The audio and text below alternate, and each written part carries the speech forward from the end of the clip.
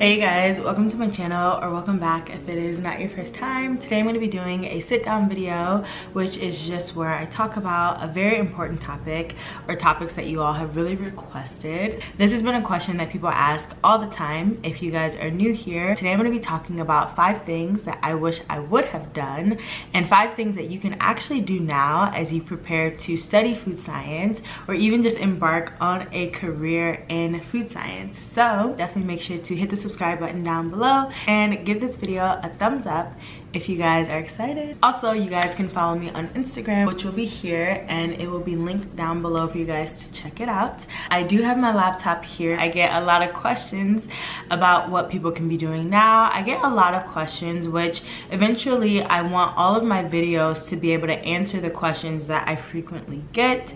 And like I said, if you guys have questions, definitely check out videos in the description box because chances are I've answered your question in a past video. If you guys are new here, my name is Ima and I studied food science and technology in college and I got my degree in food science. I've taught food science, I've worked in the field and right now I'm working for a company that I really, really enjoy and I'm just so excited to share knowledge that can help people. I know when I was studying food science or embarking on the journey of studying it, I did not have resources. No one on YouTube was making videos. So that's what really keeps me motivated to make videos in hopes that they will help people that were just like me but I didn't have resources. So the very first thing that I wish I would have done before studying food science is really explored what my weaknesses and my strengths were. A lot of people don't realize that food science is a difficult subject, but just because you're weak in one subject doesn't mean that you'll always be weak in that subject. And just because you're strong in one subject doesn't mean that you'll always be strong in that subject. So it doesn't necessarily mean subjects, but even just skill sets. I wish I would have honed in on what my weaknesses were so that before college, college, I would have known, okay, this is one of my weaknesses, but I actually want to really work on strengthening that so it no longer holds me back. A lot of people also don't give enough attention to their learning process. And I think the education system kind of messes people up because it makes us feel like we have to learn in the exact way that they teach us, but you can get information and digest it in a way that is better for your learning process. So I really, really wish I would have understood how I learn best and what resources really help me to succeed because what works for some person may not work for me and what works for me may not work for someone else. And so I think oftentimes I was just kind of getting by. Like I said, in high school, I did really well, but I honestly could have done better. And even in college, I feel like I could have done better if I had applied myself in different ways instead of just accepting that I had a weakness in one area or just thinking that, okay, I'm really strong in this area, so let's go after it. There are jobs that you may really end up wanting in the future that really hone in on your weakness. And if you haven't mastered your weaknesses then that job is going to be really difficult for you down the line. So i would definitely say to hone in on your strengths hone in on your weaknesses so that you can really be a very well-rounded person going into college okay? I learned this like at the end of college. I was like, wait, you know, this is my strength, this is my weakness. And even in my career, I've been able to learn a lot more about what I'm good at and what I need to work on. Granted, things like that even evolve over time. So that's why I'm saying it's always good to check in with yourself and write down what are you really good at? Because these are things that they ask in interviews anyway. Why not just help yourself and learn that a lot sooner and be honest with yourself. The second thing I wish I would have done before studying food science is look into into the job opportunities. I think I went into the subject with a very vague, I want to be a food scientist. I want to work for a food company. But when I initially started studying, I didn't understand how many layers there are to the food industry. You can do so many different things.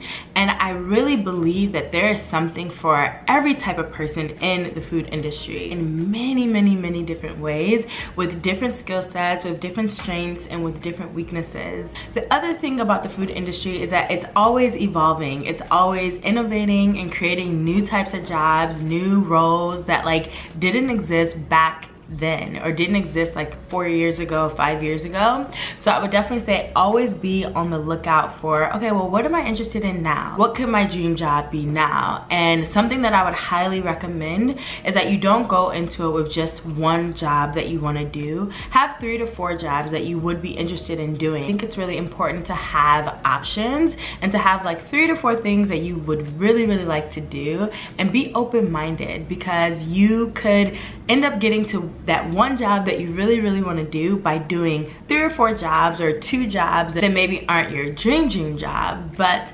on the journey, you will get to where you wanna go even in my job now, I had always wanted to work in research and development, but I didn't even realize that there was a whole section of people who have to deal with regulation and food law. I know when I first went into college, I was like, I wanna be a food scientist. But to be honest, I didn't even know how many different layers there were in a business, in a food company until I started to research it and be exposed to these different companies. And I was like, wait, a sensory scientist, a food lawyer, a product developer, a food safety analyst. It's just, I could go on and on about the different opportunities that exist in the industry. So definitely always stay up to date on that so you don't really sell yourself short and miss out on really good opportunities that are still in the food industry. The third thing that I kind of did, but I wish I would have done more of was just to make food science a part of your everyday life and do fun experiments at home that involve food food and that really get your brain thinking about like how science is involved in everything that we eat. And so growing up, I took a culinary class with my high school and I absolutely loved it. And I truly believe that that is where my interest sparked because I was constantly learning how to cook foods, but then when I would go home, I would try to replicate them and things wouldn't always go the way that I wanted them to.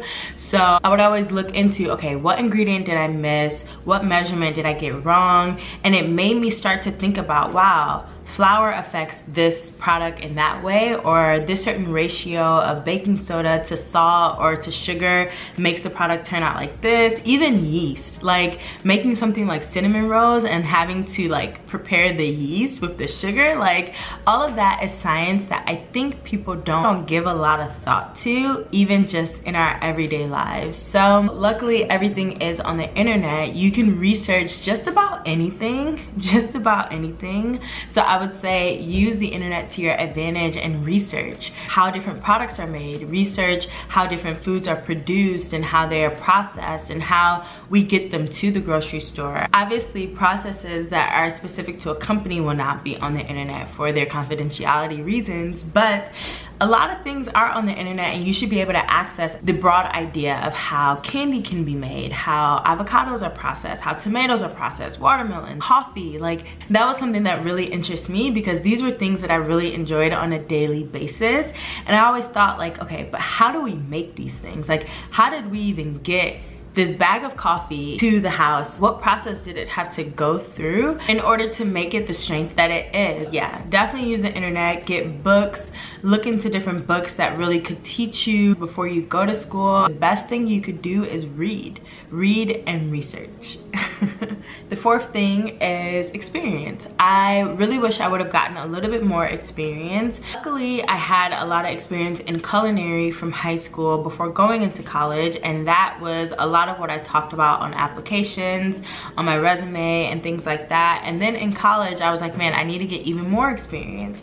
And I wish I would have gotten more experience um, before getting into the field because the more you're exposed to, the more you know. And no experience is really wasted, even if it's not a great experience that you liked or even if it is the best experience, no experience is wasted. And it really allows you to build that portfolio to get you where you're going. Believe it or not, you don't need a degree in order to work for a food company or to work for a restaurant or to work for, you know, different companies that have food involved or food production involved. You do need a high school diploma sometimes, but there are other opportunities that, you know, you could volunteer and be a little bit younger and get that experience. I think I would do a separate video all about seeking out opportunities and seeking out internships, jobs, and stuff like that because that is honestly so important. It makes you look well versed and just more you're more marketable if you have more experience and even like i said even if it's just a two month three month experience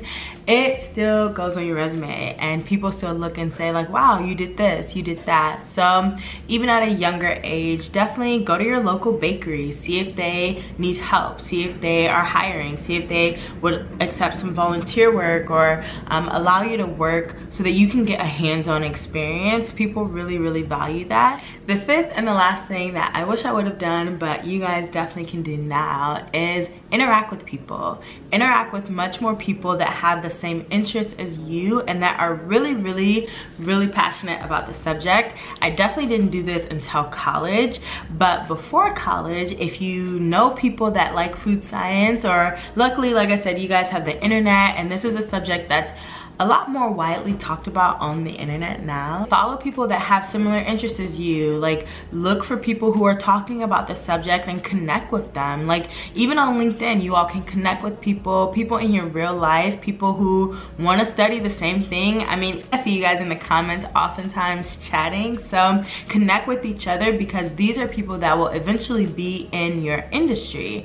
And you really want to build genuine relationships with people. That is how you really seize opportunities opportunities and you get the opportunity to pitch yourself and say, hey, this is what I'm interested in. And it's a genuine networking connection. A lot of people think that they have to interact with the CEO of a company or interact with these people who are so high level. And you definitely don't have to do that from the jump. There's a lot of value in smaller connections first that eventually become bigger connections or that eventually become the bridge to connect you to other people for opportunities. So highly, highly, highly recommend networking networking is so important and I know a lot of you all have probably heard the saying your net worth is in your network and it's so true. I never really understood that until i got older but it's so true. Genuinely be nice to everyone and listen to people like hear what people are interested in. It can help you engage in a dialogue and even learn more about what your interests are and how you fit into the industry. So i know a lot of you all have asked questions about how to network how to successfully network and build connections and that is definitely a video that i want to work on. So if you guys like this video definitely give me a huge thumbs up. If you guys are new to my channel definitely make sure to hit the subscribe button down below. And if you guys have video ideas or any video requests that you'd like to see from me as always leave them in the comment section below and I will definitely check it out and add some things to my list. Check out all my recent videos. Those will be linked down below and on the screen. I love you guys so much and I will see you guys in my next video. Bye you guys